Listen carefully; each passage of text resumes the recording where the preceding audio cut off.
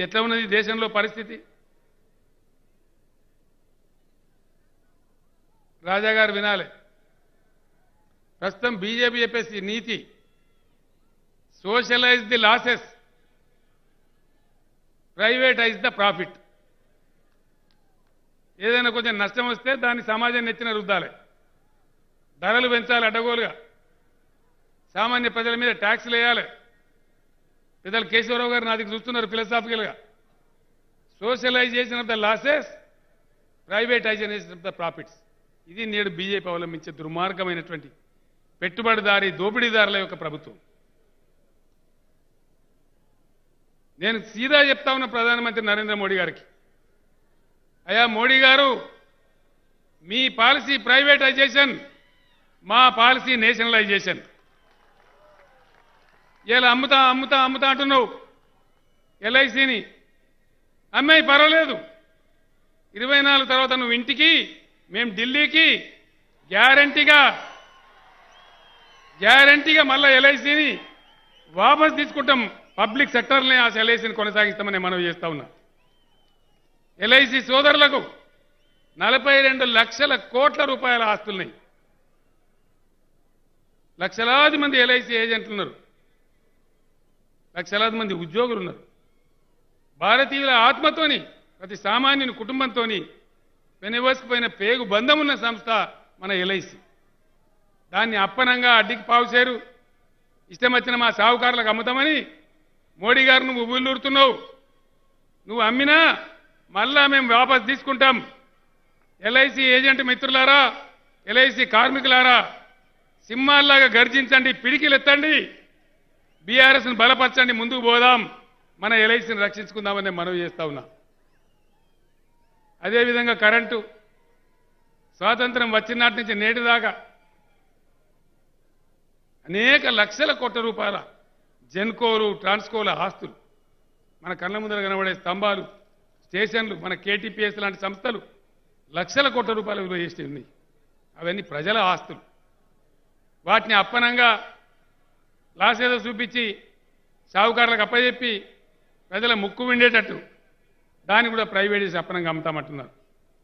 భారతదేశం లాంటి పెద్ద దేశంలో కరెంటు అతి ముఖ్యమైనటువంటి విషయం కాబట్టి ప్రగతి సూచికలలో మొదటిది కాబట్టి కరెంటు రంగాన్ని ఖచ్చితంగా పబ్లిక్ సెక్టర్లోనే ఉంచబడుతుంది.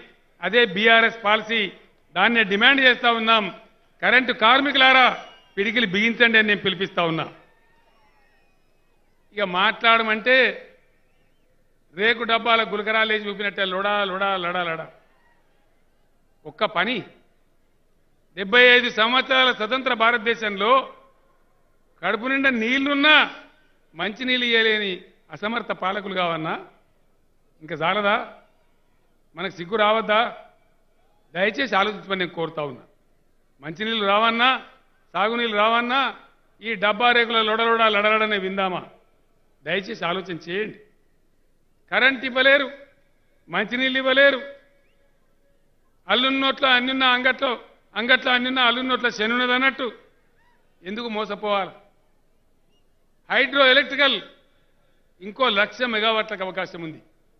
దేశంలో కోసి గండకి నదులు బీఆర్ను వరదలతోని కరువుతోని ముంచెత్తా ఉన్నాయి. ప్రతి సంవత్సరం సగం బీహార్ వరదలు సగం బీహార్ కరువు. అక్కడ హైడ్రో ఎలక్ట్రికల్ ప్రాజెక్టులు పెట్టినట్టయితే బ్రహ్మాండంగా అద్భుతమైన కరెంట్ వచ్చేటువంటి అవకాశం ఉంది. ఈ విధంగా జరుగుతున్నటువంటి ఈ దేశంలో ప్రజలను మోసగించడానికి గోల్మాల్ చేయడానికి మోడీ గారు చెప్తారు government has no business to do business but we say government has every business to do business wherever it is required లాభం ఉన్నటువంటి కాడి నుంచి క్రాస్ సబ్సిడైజ్ చేసి పేదలను ఆదుకోవడం అనేది అనాదిగా సమాజం మన భారతీయ రక్తంలో ఉన్నటువంటి సాంప్రదాయం. ధనవంతులు ధర్మశాలలు కట్టించడం మన సాంప్రదాయం. No business to do business పేదలను సాధలను అందరినీ సావుకాలకు అప్పచెప్పి సాగుకొడతావా government has every business to intervene and do ఆ విధంగా ముందుకోవాల్సిన అవసరం ఉంది. ఈ విధంగా అనేక విషయాలు ఇబ్బందులు పెడతా ఉన్నారు. దళిత జాతి బిడ్డలు ఎవరి కోసం వివక్ష అనుభవించాలి? ఎన్నేళ్ళు అనుభవించాలి? అందుకే పుట్టింది తెలంగాణలో దళిత బంధు పథకం. ఖచ్చితంగా అంబేద్కర్ గారి బాటలో కన్సీరామ్ గారు చూపించిన బాటలో దళిత జాతి పైకి వచ్చి తీరాలే. భారత దళిత జాతికి నేను పిలిపిస్తా ఉన్నా. తెలంగాణ దళిత బంధు పథకాన్ని సంవత్సరానికి ఇరవై ఐదు లక్షల కుటుంబాల చొప్పున భారతదేశమంతా అమలు చేయాలని బీఆర్ఎస్ డిమాండ్ చేస్తా ఉంది. మీరు చేయకపోతే మేం చేసి చూపెడతామనుకుంటే మనవి చేస్తా ఉన్నా. అదేవిధంగా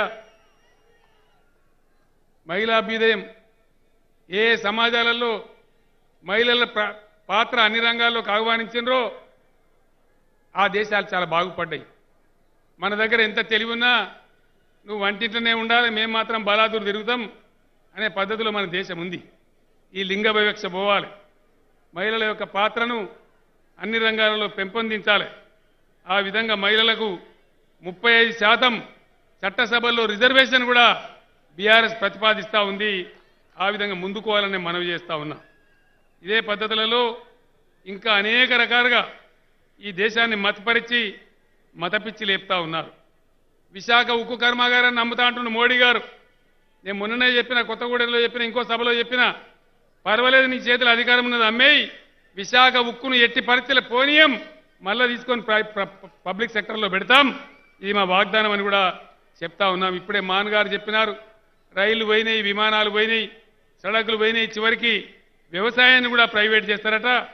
వ్యవసాయాన్ని కూడా ప్రైవేటైజ్ చేసి మన భూములు దానిలో పెట్టి కార్పొరేట్ గద్దలకిచ్చి దానిలో మనమే జీతాలు ఆడే పరిస్థితికి తీసుకొచ్చే కుట్ర కూడా జరుగుతూ ఉంది.